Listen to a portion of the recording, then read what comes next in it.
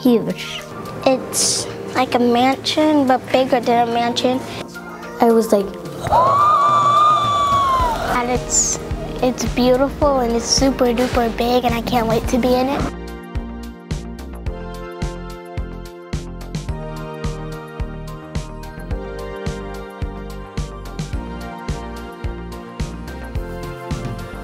As you know, you know, schools really have the potential to to lift a community and when you speak to our students and you speak to our families and you speak to our staff, uh, you really get a, a sense and, and, a feel for how excited everyone is about this amazing new school.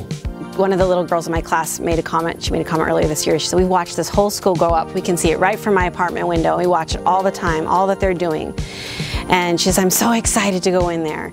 And I think the ownership that the community feels towards it is what is going to make it even, even a richer experience for them. Well, I'm proud to be here because it's in the school and it's really, really big. It has it has two floors.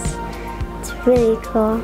And they're, they're showing kids that there are very, very, very much themes like South America, Antarctica, Australia. There's a bunch of them.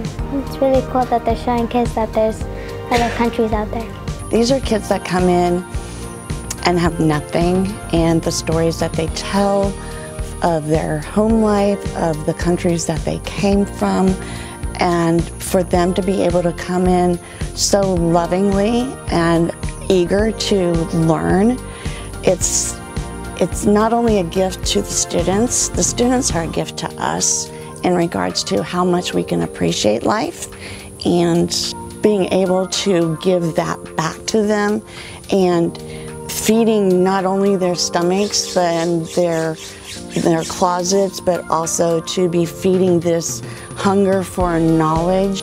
It's the most amazing gift that they can give to us. And now giving this school to them is going to be, I keep using the word amazing, but it is amazing.